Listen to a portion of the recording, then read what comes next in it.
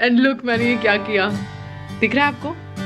ये डोरी और ये डोरी मेरे हाथ में आ गई है। बहुत खुश हो? बहुत ज़्यादा।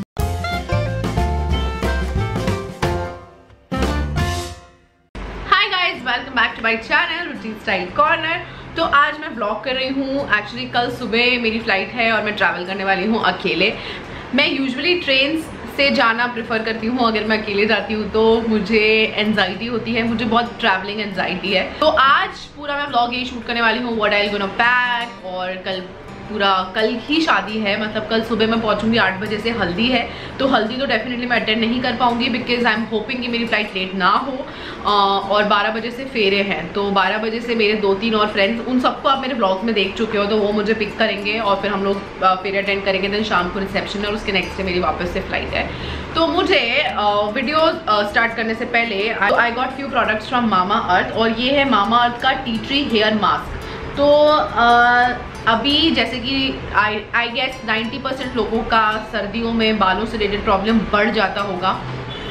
जो हमारा जब रेनी सीज़न होता है, तब हेयरफॉल ज़्यादा बढ़ता है। लेकिन जब विंटर सीज़न होता है ना तो डैंड्रफ ड्राइनेस बाल रफ हो जाते हैं और साथ ही साथ हेयर फॉल बढ़ जाता है। तो चार और प्रॉब्लम्स एक्स्ट्रा आपको मिल जाती हैं थोक में, और जब विंटर स्टार्ट होता है। मुंबई में तो इतनी विंटर है ही नहीं, अभी आई नहीं है बट आई एम श्योर जो बाकी एरियाज़ हैं, वहाँ पर काफ़ी ज़्यादा विंटर आ चुका है। और आपकी जो स्कैल पे जब आप ऐसे करके रब भी करोगे तो डैंड्रफी आपके स्कैल पे आता नहीं आता बट मेरे स्कैल पे तो आता है।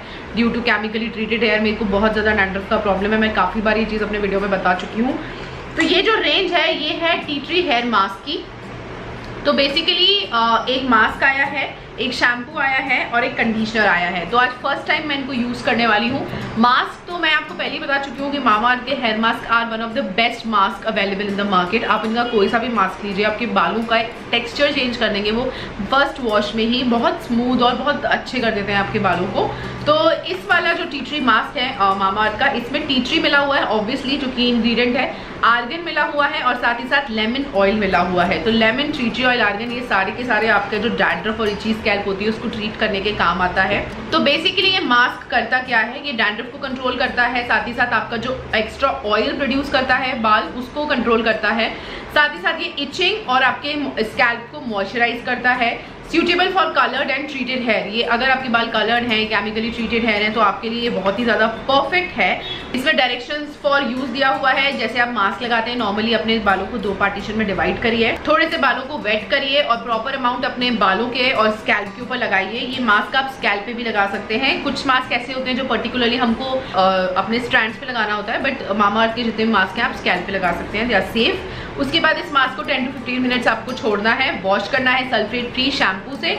तो अगर आप यही इनकी रेंज का शैम्पू यूज़ करेंगे और इनकी रेंज का कंडीशनर यूज़ करेंगे तो आई गेस रिज़ल्ट ज़्यादा अच्छा आएगा बिकॉज़ सेम रेंज और सेम इंग्रीडियंट्स वाले शैम्पू कंडीशनर है।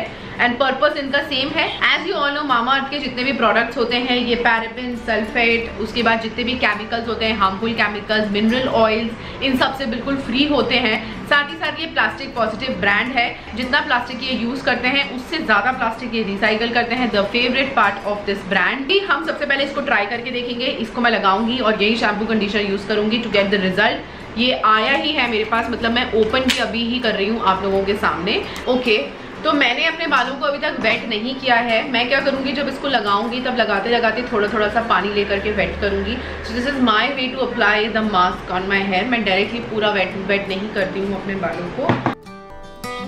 This brand is now officially certified from PETA as cruelty free. Suggest you कि आप इसको लगाने से पहले अपने बालों को वेट ज़रूर करिएगा तो ये बहुत इजीली आपके बालों में स्प्रेड होगा। सो येस मास्क लगाने के बाद अब मैं 20 डेज़ 20 मिनट तक वेट करूँगी और उसके बाद फिर मैं ये शैम्पू एंड कंडीशनर करके आप लोगों को रिज़ल्ट बताती हूँ कि कैसा मुझे फील हुआ इसको लगाने के बाद। तो मैंने अपना हेयर वॉश वगैरह सब कुछ कर लिया है। एंड यस uh, yes, बाहर शाम हो रही है। मैंने शाम को ही अपने बालों में वो लगाया था। शाम को जब धूप जाती हुई वाला टाइम रहता है मैंने तब लगाया था। बिकॉज़ कल मुझे ट्रैवल करना है तो कल मैं हेयर वॉश नहीं करूँगी। दैट्स वाई मैंने काफ़ी लेट वो किया है। मेरे बाल थोड़ा ड्राई हो जाए। मैं आर्टिफिशली ड्राई नहीं कर रही हूँ नेचुरली ड्राई कर रही हूँ इसलिए इतना टाइम लग रहा है। ऑलरेडी एक घंटा हो चुका है मेरे बालों को। तो मैं फ़ैन चला करके बैठी हुई हूँ। एंड uh, क्योंकि यार वैसे ही मेरे बाल बहुत ज़्यादा ड्राई हो रहे थे और uh, उससे आर्टिफिशली ड्राई करूँगी तो अगैन वो ब्लोअर से बहुत वो होते हैं। सो दैट्स वाई तो जैसे ही ड्राई हो जाता है, मैं आपको अपना रिज़ल्ट बताती हूँ। ऑल ये मुझे बहुत सॉफ्ट सॉफ्ट फील तो हो रहे हैं लेट्स सी कैसा रिज़ल्ट आता है ड्राई हो जाने के बाद तो मैं आप लोगों को समझती हूँ थोड़ी देर में।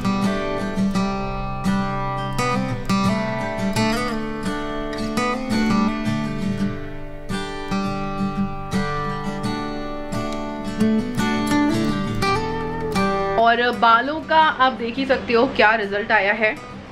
कोई कोम नहीं किया है मैंने अभी तक। And look at the shine और ये बहुत अच्छे लग रहे हैं बहुत सॉफ्ट हो गए हैं। एंड स्कैल पे वो जो इचीनेस होती है ना वो बिल्कुल भी नहीं लग रही है। बिल्कुल भी नहीं लग रही है इचीनेस uh, मैंने ये वाला शैम्पू यूज़ किया है which is Mamaearth tea tree shampoo तो इस शैम्पू के अंदर tea tree oil obviously tea tree तो ऑब्वियसली है प्लस जिंजर ऑयल है। अगर आपके बालों में किसी तरह का इन्फेक्शन है फंगल इन्फेक्शन है, उसके लिए बहुत अच्छा है। हेयर से रिलेटेड अगर आपको कोई भी प्रॉब्लम है तो उसके लिए ये शैम्पू बहुत ही अच्छा है।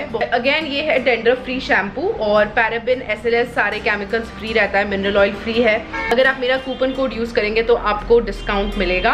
और शैम्पू लगाने के बाद मैंने ये टी ट्री का कंडीशनर यूज़ किया है। है, इसकी फ्रेग्रेंस बहुत अच्छी है, इसके अंदर भी tea tree plus ginger oil है and again this is a dandruff free hair के लिए ही है, ये कंडीशनर भी and I really like the conditioner as well इसकी फ्रेग्रेंस बहुत अच्छी है, बालों के अंदर एक अच्छा सा सूदिंग सा फ्रेग्रेंस छोड़ करके जाता है ये। शैम्पू करने के बाद कंडीशनर कभी भी आपको आपके स्कैल पे नहीं लगानी है, हमेशा अपने यहाँ के नीचे जो इस इस पोर्शन के जो नीचे वाला हेयर होता है, वहाँ पर आपको कंडीशनर लगाना होता है और हमेशा कंडीशनर को दो मिनट छोड़ के रखिए। उसके बाद वॉश करिए। Minimum two minutes and maximum four minutes I think but two minutes तो उसको रखना ही रखना है तभी कंडीशनर बहुत अच्छे से इफ़ेक्ट करेगा। एंड शैम्पू को भी अच्छे से मसाज करते हुए आपके अपने बालों में शैम्पू करना है। अगर if you have a dandruff hair and problematic hair और अगर डैंड्रफ आपके बालों में है तो ऐसा बोलते हैं कि ज़्यादा शैम्पू नहीं करना चाहिए। बट नो ऐसा कुछ नहीं है। मसाज करते हुए हर दो दिन में शैम्पू करिए आपका डैंड्रफ का प्रॉब्लम जो है वो बहुत हद तक कंट्रोल हो जाएगा। सो so, uh, यही था। और अभी मेरा जो पैकिंग है वो ऑलमोस्ट कंप्लीट हो चुका है। और I think I have to sleep now because कल सुबह मुझे जल्दी उठना है। तो मैं आप लोगों से मिलती हूँ कल सुबह directly till then bye hi guys good morning और आज है मंडे और मैं निकल गई हूँ एयरपोर्ट के लिए।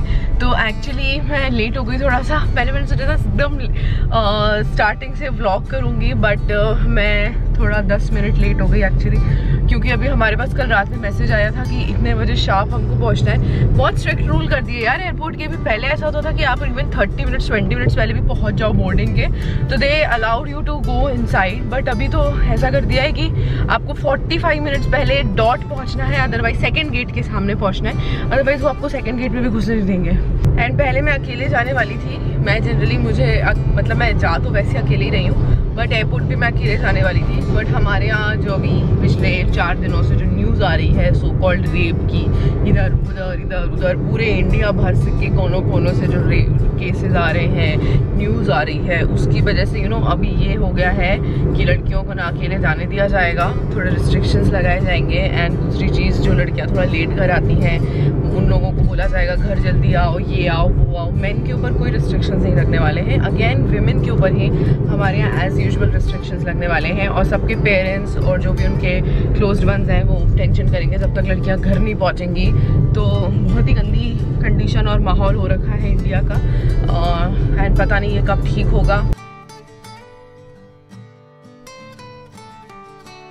Hi guys so I am back in Bhopal और मैंने इसके बीच में कोई व्लॉगिंग नहीं करी है।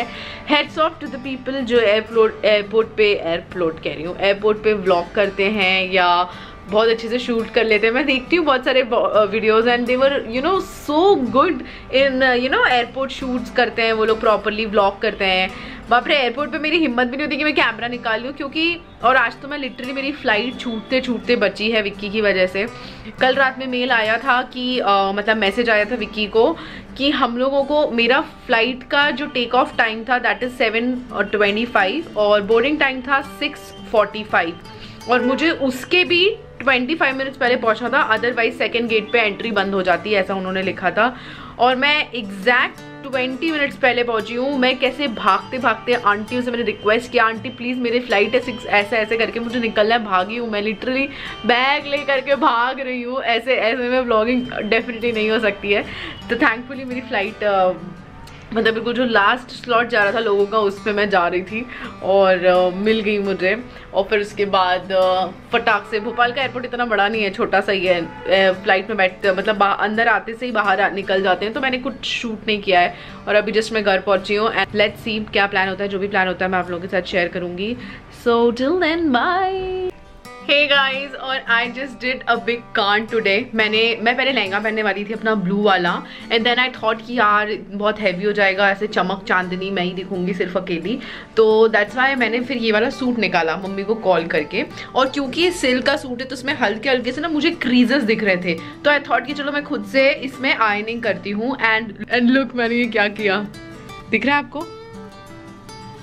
माई गॉड ये सूट मैंने सिर्फ़ दो बार पहना है। इसकी कीमत भी वसूल नहीं हुई है अभी तक तो यार। मुझे इतना रोना जैसा आ रहा है ना कि मैं क्या बताऊँ। मैंने भी मम्मी को कॉल करके बताया। ऑल मैं यही सूट पहन करके जाऊँगी। यार, आप लोग मुझे बताना, ये सिल्क का क्लोथ है। ये ठीक हो पाएगा कि नहीं हो पाएगा? ये रिपेयर हो पाएगा कि नहीं हो पाएगा? इस ओके. एक और चीज़ मेरे दिमाग में भी एकदम से क्लिक हुई। रफू की जगह हम ये करवा सकते हैं। जैसे इसकी स्लीव्स अभी काफ़ी लॉन्ग है राइट तो मैं क्या कर सकती हूँ? ये स्लीव्स को कटवा करके ऊपर ऊपर करवा सकती हूँ इसलिए यहाँ तक हो जाएगी। तो ये एक तरीका मुझे लग रहा है। और अगर आप लोगों को कोई तरीका पता हो सिल्क को ठीक करने का रफू तो मुझे लगता है दिखेगा इसमें। और कुछ मेथड अगर आपको पता हो तो please do let me know I really need it और सिल्क को कैसे आप रिपेयर करते हो, अगर ऐसा कुछ कांड हो जाता है तो। हालाँकि ज़्यादा बड़ा नहीं है, पर वो दिख रहा है यार।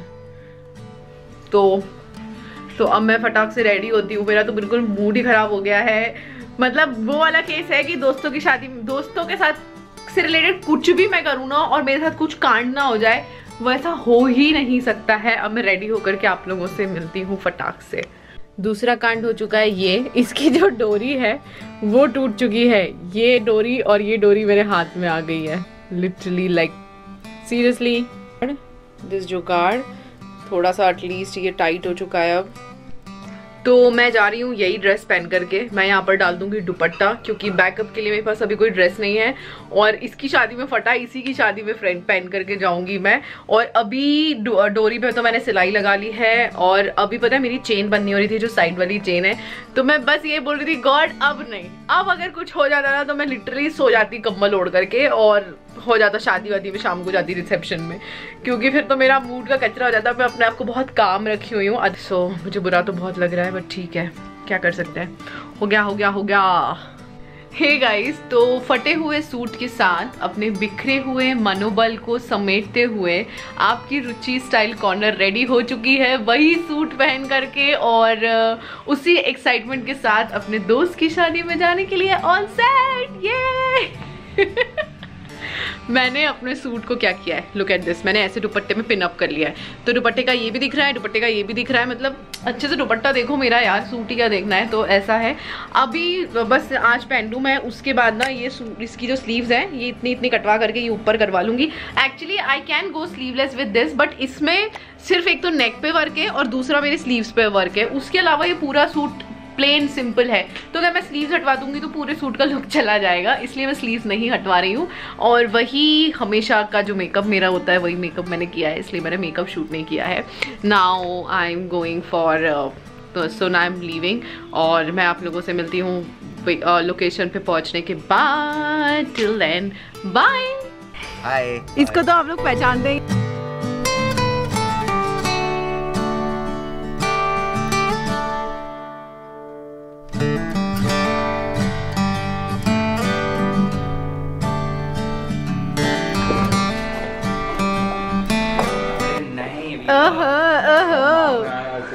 तो ये है हमारे दूल्हा भूखा दूल्हा जो इस तरह से खाना खा रहा है जैसे इसने कभी खाना ही नहीं खाया है। जब से हाय कैसा लग रहा तुम्हें शादी हो रही है? बहुत खुश हो। हाँ। बहुत ज़्यादा। मेहंदी मेहंदी तो दिखाओ यार मेहंदी मेहंदी दिखाओ अपनी मेहंदी मेहंदी दिखाओ। देखो जरा लड़के की मेहंदी। नाम वाम लिखा है कि नहीं? पैरों की मेहंदी देखिए गाइज़ आप लोग। मैंने आज तक तो कभी किसी लड़के की पैरों की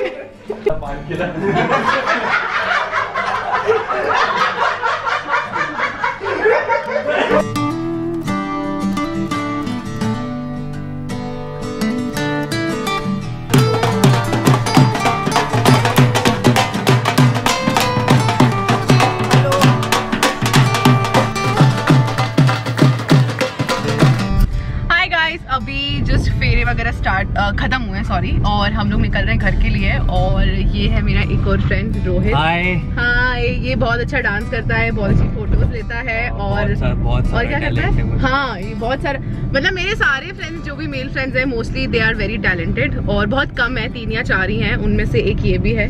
तो he is also unmarried bachelor है ये so if anyone interested कायस लड़की सो तो अभी अभी हम अभी हम मैं रुचि को छोड़ने उसके घर जा रहा हूँ। हाँ एक्चुअली अभी हम लोग कुछ डिस्कशन कर रहे हैं। गॉड तो ये मुझे बता रहा था कि ये और अक्षय अक्षय से आप मिले हुए हैं जो त्रिम्बकेश्वर वाला ब्लॉग है जिसमें वो अक्षय है और दो ट्रैवल स्पेस टाइम हाँ मैं उसका भी लिंक डाल दूँ। अभी वो दिखेगा आपको वीडियोस में भी। हाँ। तो ये हम सब बहुत अच्छे फ्रेंड हैं और ये लोग तो बहुत ही अच्छे फ्रेंड्स हैं। तो ये बता रहा था हाँ इधर चलना है। Oh, ये मेरा घर भूल गया सी। सो तो ये बता रहा था कि वो मेरा एक वीडियो था जिसमें सातपुमा बन करके मैंने एक्ट किया था स्क्रिप्ट टाइप की थी है ना? स्किट टाइप मैं बताता हूँ वीडियो का आपका। हाँ। Me and Akshay was very tipsy that day and हमने सोचा we both are searching videos in our mobile तो अचानक से रुचि का हमें वो सासू माँ वाला वीडियो दिखता है। गाइस आप मानोगे नहीं। तीन मतलब पंद्रह बीस मिनट तो हमने वो थंबनेल देख के हंसे होंगे हम ठीक है? हटे तक जो हंसना बोलते हैं वो हुआ। उसके बाद वो वीडियो मतलब तीन या चार मिनट का वो वीडियो था। और तुम समझ लो पूरी चार बजे रात तक हम हँसते हँसते वो वीडियो देखे। तो गाइस मतलब उस दिन तो बहुत हाई हो गए थे हम लोग और रुचि का वीडियो मैन मतलब इस तरह के वीडियो मुझे बनाने चाहिए आप कमेंट बॉक्स पे लिख सकते हैं कि रुचि को ऐसे गैग्स और बनाने चाहिए कि नहीं बनाने चाहिए। चलो अब हम लोग मिलते हैं आप लोगों से थोड़ी देर में। Children bye hi guys so I am ready now और शाम के रिसेप्शन के लिए हम लोग साथ में ही जा रहे हैं। पहले हम सब फ्रेंड्स ऐसा था कि पेरेंट्स बाद में आएँगे फ्रेंड्स साथ में जाएँगे। बट मेरे जो दो फ्रेंड्स हैं, वो अपने पेरेंट्स को लेकर के आएँगे। वो लोग बहुत दूर दूर रहते हैं और ऐसा ऐसा हो गया। तो अभी सब लोग ऐसे जा रहे हैं कि हम लोग सब पेरेंट्स के साथ ही जा रहे हैं। And this is my suit this is one of my favourite suit मतलब ये मुझे इतना इतना ज़्यादा पसंद है, बहुत पसंद है मुझे मतलब मैं इस सूट को बहुत ही ज़्यादा पसंद करती हूँ so I am wearing this suit जो मैं बहुत बार आपको आई थिंक वीडियो में बता चुकी हूँ।